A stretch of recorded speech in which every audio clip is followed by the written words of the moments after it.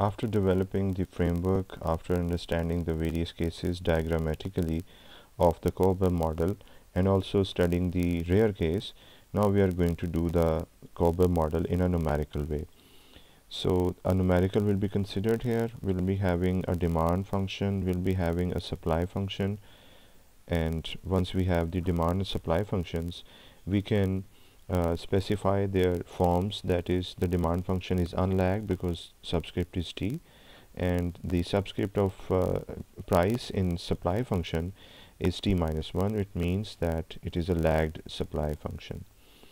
And this is the precise equation that we have the standard form and then the numerical form. Here the standard form and then the numerical form which is given. So easily I can extract the value of alpha I can extract the value of beta and the value of delta as well as the value of uh, gamma and delta. Uh, minus is of the formula so we would be omitting it as we can see it is omitted already.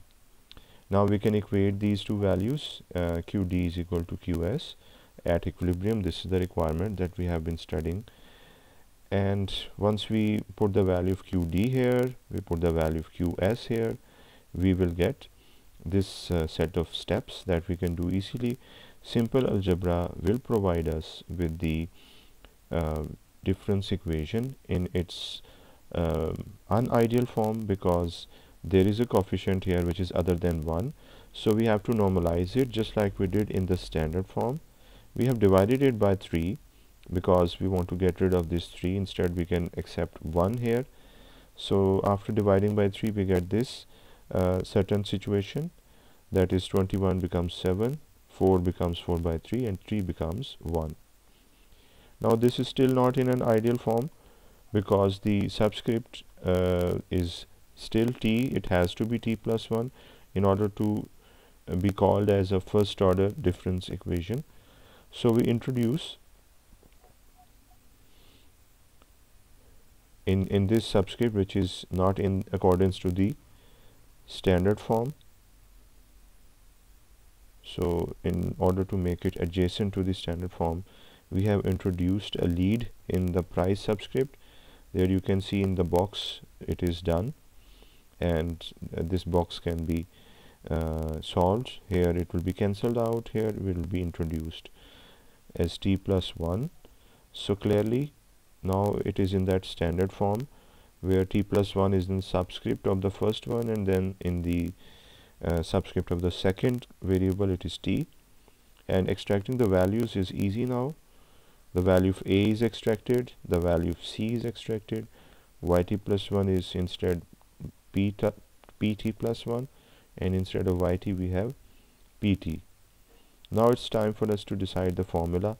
We know that it gets decided on the basis of the value of a which is equal to 4 over 3 which is definitely not equal to minus 1 it means that we can use the first of the two formulas that we have to solve a first order difference equation.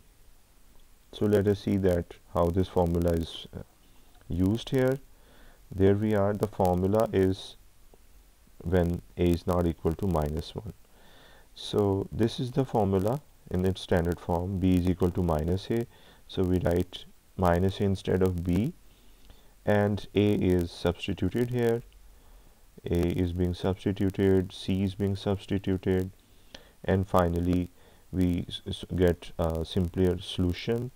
You can do this simple algebra. A is being carried and now it is substituted. That is 4 over 3 so we have uh, a labeled solution that a is equal to this capital A the arbitrary constant. Now it is definitized if we have the value of p naught and then we have the complementary function and we have the particular integral.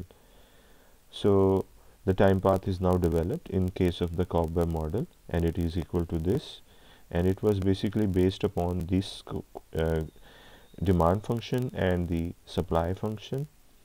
We should also talk about the uh, nature and the pattern of the time path because uh, this is uh, very much uh, critical when it comes to the dynamic stability.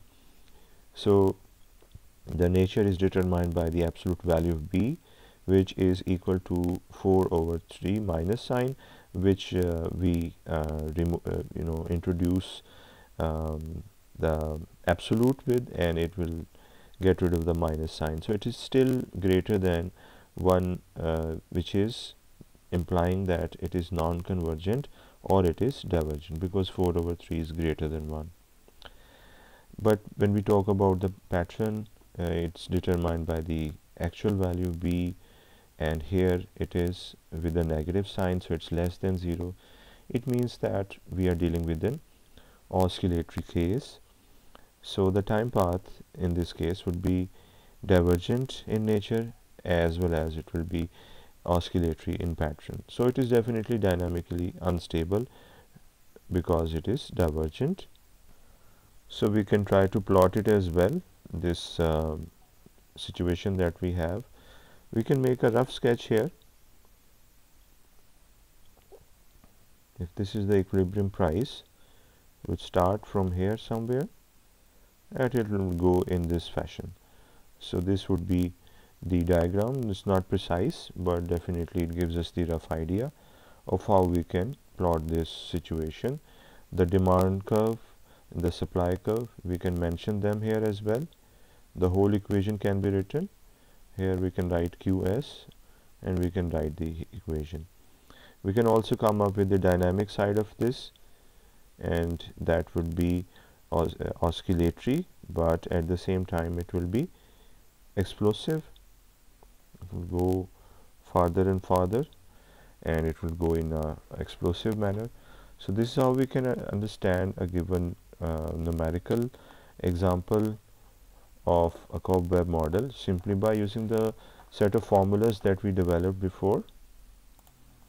And this was the formula this was the extraction of values as compared to the standard form and this is the standard form itself this was the adjustment for the standard form and this was the equation that was developed on the basis of the market equilibrium condition QD is equal to QS and this was the elaboration of the given equations and this was the given data. So now we have completed the COBWEB model in this fourth video and we have done it numerical as well by um, considering this numerical example. Thank you.